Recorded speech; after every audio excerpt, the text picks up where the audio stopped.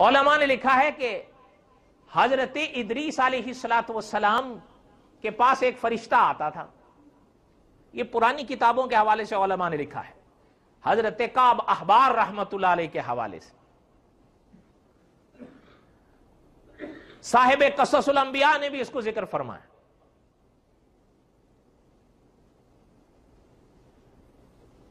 اور فرمایا یہ کہ ایک موقع پر حضرت کعب احبار رحمت اللہ علیہ سے پوچھا گیا تھا کہ حضرت، یہ جو کلام پاک میں اللہ تعالیٰ نے سورت مریم میں حضرت ادریس علیہ السلاۃ اسلام کے ذکر میں جو فرمایا ہے نا ورفانا مکان علیہ اس کا معنی کیا ہے؟ حضرت نے فرمایا، پہلے واقعہ سنیں، باقی بات بعد میں عرض کروں گا۔ فرماتے ہیں کہ حضرت ادریس علیہ السلاۃ والسلام کے ایک دوست تھے، فرشتہ۔ ان سے باتیں حضرت کی ہوتی تھیں۔ ایک دن انہوں نے پوچھا یعنی حضرت ادریس نے پوچھا علیہ السلام کہ بات ایسی ہے کہ جو مجھے میرے اعمال کے بارے میں پتا چلا ہے، تو جو ہے نا ملک الموت۔ ان سے آپ ذرا میرے لیے پوچھو، میری زندگی کتنی باقی ہے؟ یا اس کو کوئی آگے پیچھے بھی کیا جا سکتا ہے؟ ان فرشتے نے فرمایا کہ حضرت یہ تو مجھے پتا نہیں کہ اللہ تعالی نے یہ اجازت حضرت کو دی ہے کہ نہیں، اور یہ سلسلہ تو انہی کے پاس ہے۔ اس لیے ہاں البتہ میں پوچھ ضرور سکتا ہوں۔ اچھا حضرت ادریس نے فرمایا، پھر آپ پوچھ کر بتاؤ۔ انہوں نے فرمایا کہ آپ آ جاؤ، میں آپ کی ملاقات کرا دیتا ہوں۔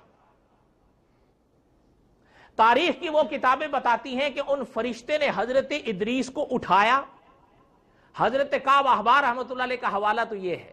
اور انہوں نے آسمان پر لے جانا شروع کیا حضرت ادریس کو۔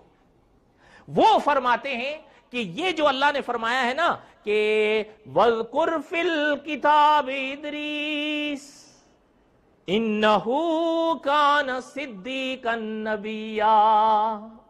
ورفاناہ مکانا علیا وہ فرماتے ہیں، شاید کا معنی یہی ہے جو تم سن رہے ہو، کہ اٹھایا ایک آسمان، دوسرا آسمان، تیسرا آسمان، چوتھے آسمان پر جا نکلے۔ وہ فرماتے ہیں، یہ جو اللہ فرما رہے ہیں ورفاناہ مکانا علیا ہم نے انہیں بلندی پر اٹھایا ہے، اس کا معنی وہ یہ کرتے ہیں۔ اچھا جب وہ فرماتے ہیں، جب چوتھے آسمان پر پہنچے تو فرشتے نے ملکل موت سے ملاقات کی۔ یہ جا رہے تھے، وہ آ رہے تھے۔ گویا آپ یوں سمجھیں، یا وہاں پر مل گئے ان کو۔ جب ملے تو ان فرشتے نے کہا، بھائی، حضرت، مجھے آپ سے ایک بات پوچھنی ہے۔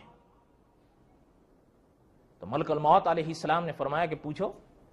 کہنے لگے کہ حضرت ادریس علیہ السلام اسلام ایک بات آپ سے پوچھنا چاہتے ہیں۔ حضرت نے فرمایا، وہ کیا؟ کہ وہ پوچھنا چاہتے ہیں کہ کیا آپ جانتے ہیں حضرت ادریس کی عمر کتنی باقی ہے؟ یا آپ اس میں کچھ آگے پیچھے رد و بدل کر سکتے ہیں؟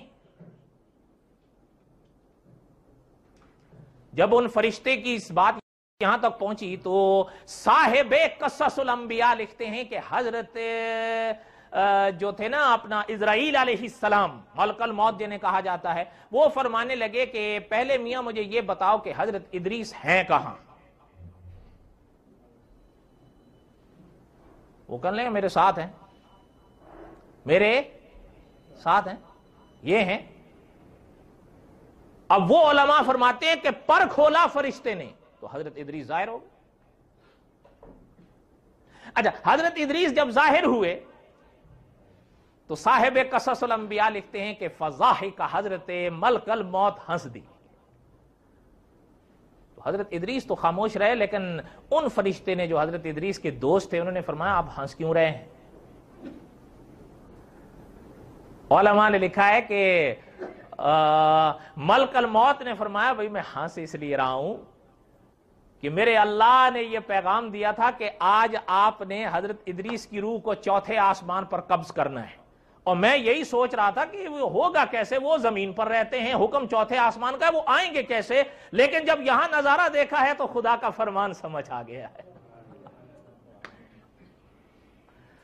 وَذْكُرْ فِي الْكِتَابِ ادریس انہو کان صدیقا نبیا اللہ فرماتے ہیں، قرآن پاک کے نور میں ذرا میرے ادریس کا چہرہ دیکھو۔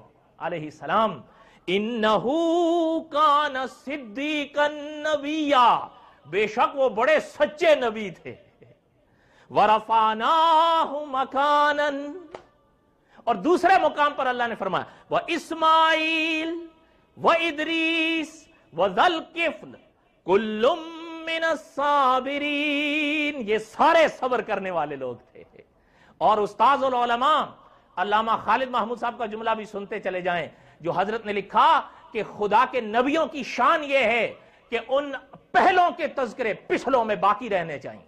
رہنے چاہیے یا نہیں رہنے چاہیے؟ آخر کوئی بات تو ہے نا کہ اللہ نے کیسے فرمایا؟